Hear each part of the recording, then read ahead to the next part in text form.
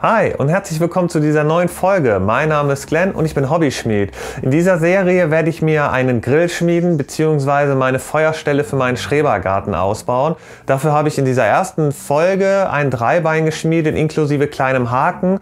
Vorweg, jemand hat mich aufmerksam gemacht, dass es gar keine 10 mm sind, sondern 12 mm, beziehungsweise ich habe die 12 mm nochmal nachgemessen.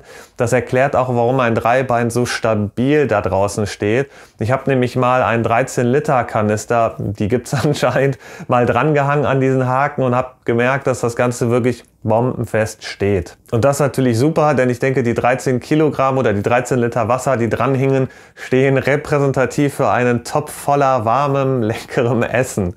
Also kann ich unbesorgt weitermachen. Ähm, jetzt ist der Haken natürlich viel zu hoch, dass ich da einen Topf dranhängen könnte, denn das Ganze würde vermutlich nicht warm werden, wenn ich nicht meine Feuerstelle nach oben kriegen würde.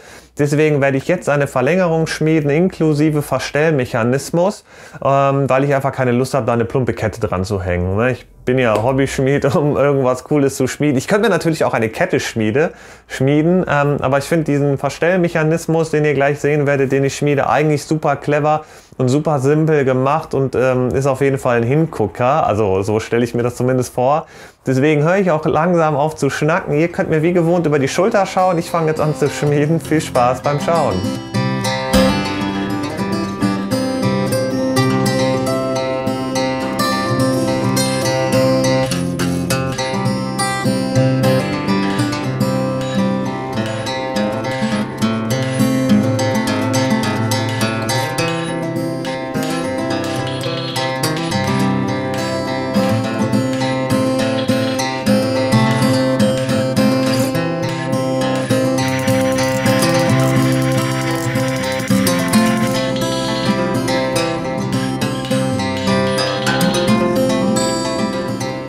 Bei den ersten Löchern habe ich mich noch recht dämlich angestellt, muss ich sagen. Ich habe es eigentlich probiert wie bei meinem Hammer, also einfach von beiden Seiten rausschlagen. Allerdings ist das Werkstück so dünn, ähm, dass dieser Schnipsel, der rausfällt, oder wie nennt ihr das kleine Metallstückchen, was übrig bleibt, wenn man ein Loch reinschlägt, das ist immer hängen geblieben, beziehungsweise ich habe es nicht rausbekommen. Dann habe ich es probiert, im, am Vierkantloch herauszuschlagen. Allerdings ist das Loch natürlich viel zu groß und mein Werkstück hat sich dann verformt. Also habe ich dann probiert an meinem Hammerdorn, der noch keinen Griff hat. Der hat nämlich ein Loch in der richtigen Größe. Da hat es schon besser funktioniert. Allerdings wackelt der Hammerdorn, weil der natürlich nicht planparallel ist. Deswegen habe ich mir dann ein Vierkantrohr geschnappt, was bei mir noch in der Schrottkiste lag und habe da ein entsprechendes Loch reingebohrt. Habe es dann darüber probiert. Tja, leider hat der erste Versuch nicht funktioniert, weil ich vergessen habe, das Loch erstmal auf dem Amboss vorzutreiben und dann von der Rückseite heraus reinzuschlagen. Hier habe ich sofort auf dem Vierkantloch gemacht und dadurch ist halt so eine Wulst entstanden, die das Ganze natürlich sehr unschön gemacht hat und noch unpraktischer. Das hat dann aber bei den nächsten Löchern wirklich ganz gut funktioniert. Also einmal auf dem Amboss vortreiben, dann umdrehen und auf dem Vierkantloch durch das Loch treiben. Dieser kleine Schnipsel ist zwar immer an einer Seite irgendwo hängen geblieben, aber es hat ganz gut funktioniert, auch wenn ich mich hier noch ein bisschen blöd anstelle, aber bei den weiteren Löchern hat es dann ganz gut geklappt.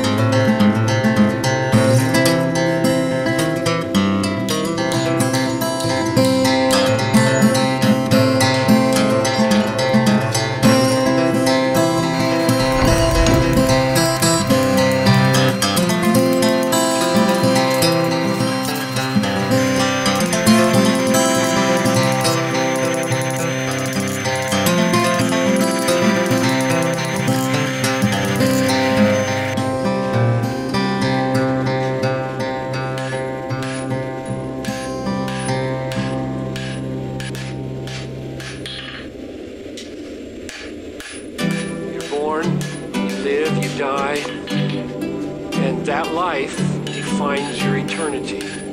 Heaven and hell follow in a straight line from what you've made of this life, and that's it. Ja, It's been a long time, quite a long ride. Feeling the piss, affliction like a gun blind. Let a cup of holy water, heads run dry. All I have is cracks in the wall by the sunrise. And this isn't conviction. Dog been sinning, his desire for redemption. Cause the way been living can't rebuild the. Feel as though the thinnest could be growing more wicked in the name of religion. Further division, with bastardized forgiveness. But if there is a God, I know that she is listening. Even when I haven't prayed. Even when I haven't prayed. Take me down to the river and wash my soul clean. Explain how I've been forgiven and have all I need. Oh, oh, oh, break these chains I've wandered into so I can be free. Change this heart that beats within me so I I wonder if I strayed into heresy. In my refusal to be a Pharisee. I know good friends who are scared for me. In the prison, oh, they carry me. And those are good vibes, good vibes, but I swear that I'm alright. I just need the space to question everything untouched by the light. And I think I got more clarity about things we are inherently. Took a few extra times for the territory, but nowadays I rarely eat. I think I got more clarity about things we are inherently. Took a few extra times for the territory, but nowadays I scared to be. Take me down to the river and wash my soul clean. Explain how I've been forgiven and have all I need. Oh, oh, oh, break these chains I've wandered into so I can be free. If there were a God, thank her for this.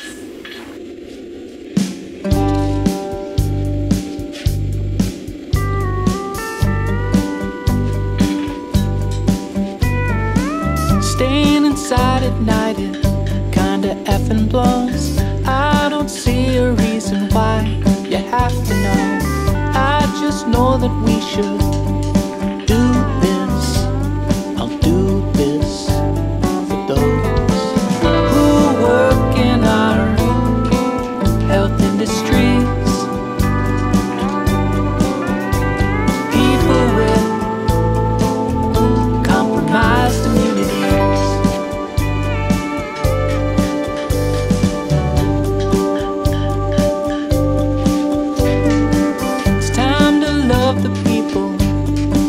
that love you back. You will be okay. Statistical fact. I know that this will effing blow. We should do this. Let's do this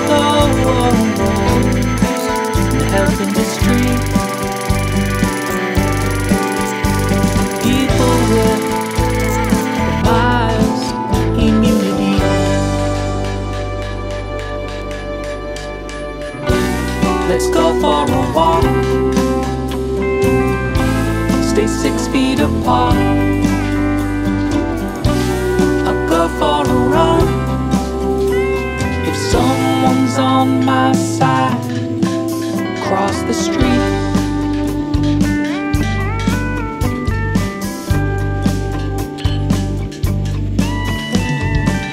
Get to know your spouse in double time. I'm so thankful that you are mine and those medical industry. Father, your brother, your sister, compromised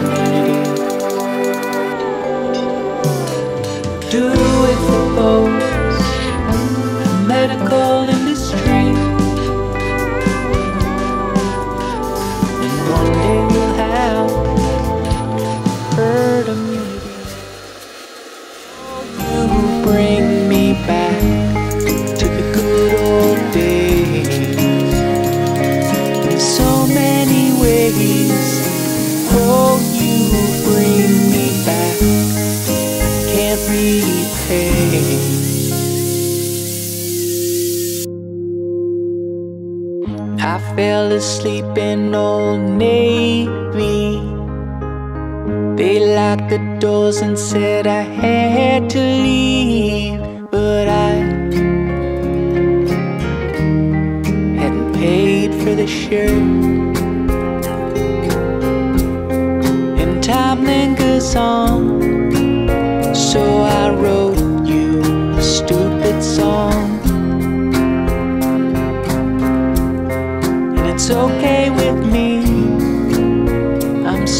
sick of this melody. So, ich bin super zufrieden mit meinem Verstellmechanismus. Also ich kann es anders auch nicht sagen. Natürlich, äh, nach wie vor sind immer Sachen da, mit denen ich nicht top zufrieden bin. Natürlich hätten diese Ringe ein bisschen runder sein können und auch die ähm, Verbindung oder die Nahtstelle der Ringe, die hätte auch ein bisschen sauber sein können. Da hätte ich das Material vielleicht vorher ja, ich weiß gar nicht, anders abschroten müssen, damit das halt sauberer zueinander passt. Und ich hätte vielleicht die, die, ähm, das Material ein bisschen stauchen müssen, bevor ich oder nachdem ich es abgeschnitten habe, damit ich hier eine saubere Kontaktstelle bekomme. Äh, nichtsdestotrotz bin ich auf jeden Fall sehr zufrieden mit dem Stück. Der Mechanismus funktioniert super. Ich habe ihn schon getestet, auch mit dem 13 Liter Kanister.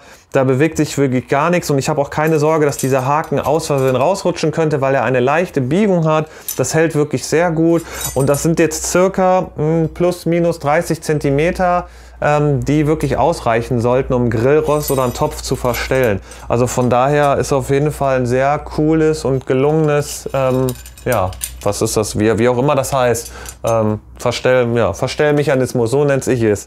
Ähm, ja, es hat mich auf jeden Fall mega gefreut, dass ihr bis dahin am Ball geblieben seid und dieses Video noch zu Ende geschaut habt. Ansonsten freue ich mich natürlich, wenn ihr einen Daumen nach oben da lasst oder diesen Kanal abonniert. Ähm, ansonsten bleibt mir auch nicht viel zu sagen, außer kommt doch mal auf meiner Homepage vorbei, wenn ihr das noch nicht gemacht habt und schaut euch meine anderen Schmiedeprodukte an. Ich habe auch ein paar Messer geschmiedet, so ist es nicht, auch wenn ich hier auf diesem Kanal bis jetzt noch kein Messer gezeigt habe. In Zukunft werden mit Sicherheit welche kommen, denn ähm, ich möchte auf jeden Fall euch zeigen, wie ich Damaststahl schmiede per Hand und das ganz ohne Powerhammer und Schmiedepresse.